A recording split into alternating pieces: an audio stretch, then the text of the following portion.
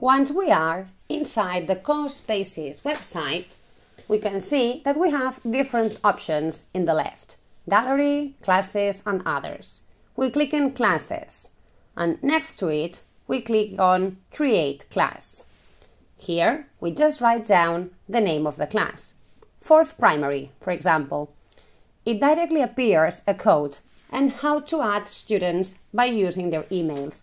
I suggest you to give them the code and ensure they are properly enrolled in the teacher's course. Once this is clear, we just close this page. Here, there are no tasks assigned yet. Our idea is to assign a task. How to do it? We click on top where it says assign task. We have to decide how students are going to work in a 3D task, in a 360 image, the Merge Cube, or others.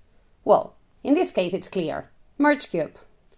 We also click on the option to allow students to use templates.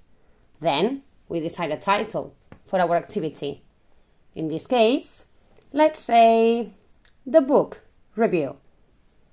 Then we can also add instructions. Create a merge cube about a book review. We click on continue. Here we decide students may work individually or in groups. If we want them to work in groups, here we can add them. We have the students registered, so we're going to edit them. Here you can see an example in the fifth primary course. They work on healthy habits.